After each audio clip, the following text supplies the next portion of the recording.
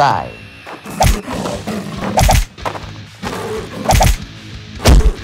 blow punches against each other, and oh, oh, the leopard falls flat. Rilla moves forward.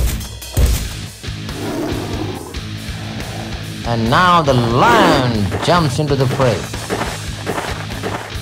Lion roars and uses its claws to punch the gorilla and the gorilla falls flat. The lion now moves forward.